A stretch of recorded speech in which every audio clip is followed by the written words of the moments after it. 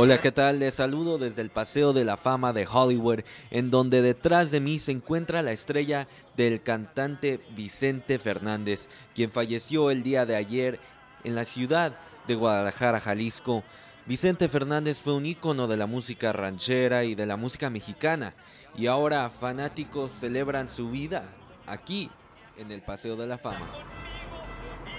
Vicente Fernández, más reconocido como Chente, ya sea por sus icónicas películas o canciones distinguidas por su voz única, ahora se convierte en una memoria para todos esos fanáticos en el mundo.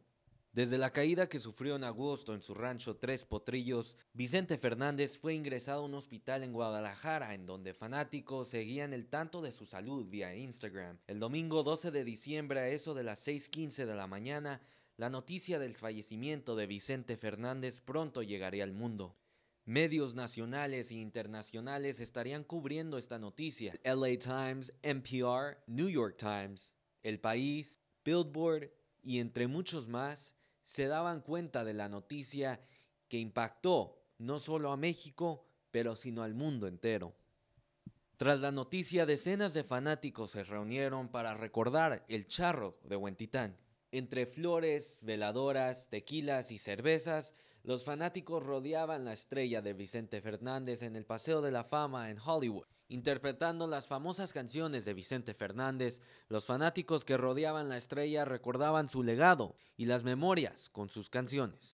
Yo crecí con las canciones de él, siempre, siempre crecimos con su música.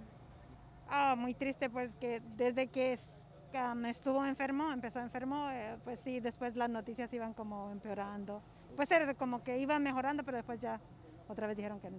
Para mí es el rey. Siempre seguirá. siendo. Vicente Fernández ahora descansa dentro de su rancho Los Tres Potrillos, ubicado en Tlajomulco de Zúñiga, en el estado de Jalisco, México. Chente siempre será recordado por su gran voz y su presencia única con la gente del pueblo.